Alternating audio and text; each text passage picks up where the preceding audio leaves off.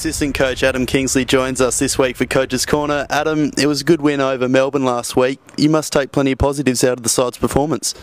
Yeah, look, we are really pleased, particularly with our last quarter. I thought that was more to the uh, more closer to the Saints footy that the the club has been renowned for over the last couple of years, with the uh, attack on the ball and the pressure on uh, the opposition. So, hopefully, that can continue in on this week uh, over at Fremantle and a number of the more experienced players returned to some good form. Must have been happy with how they went about it.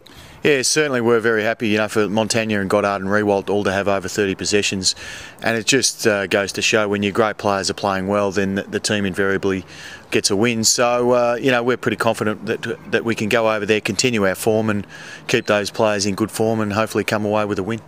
And with the road trip to Freo this weekend, how do you uh, think the, the, the side will handle that travel? I think the record, uh, the last four times that St Kilda have played at uh, Subiaco, they've won the game. So uh, the players take a lot of confidence out of that. Um, and particularly with the, the way we finished off the game on the weekend, I think uh, it's going to be a pretty good game and we'll back ourselves in. And dominant ruckman Aaron Sandilands is out. Will stopping their running midfield still be the number one concern? Certainly is. You know, they've got a lot, of, very good players through their midfield with Pavlich and Hill and Mundy.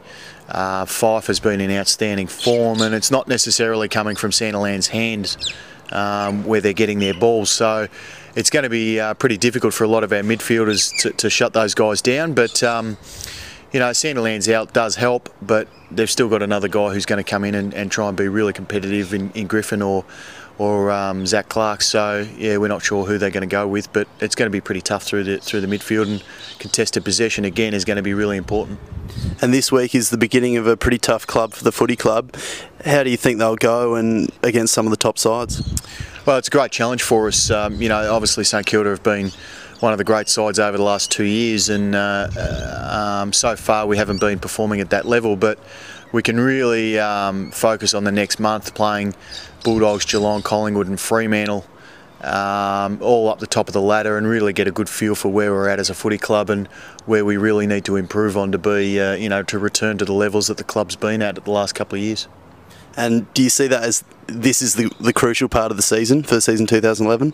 Oh, it certainly is. You know, uh, this could really set our season up, or it could really put us behind the eight ball. So uh, it's going to be a really important month, and, and the guys are fully fit, and they're, they're really focused on getting some good uh, good results over the next month. So looking forward to it. Cheers. Good luck on the weekend.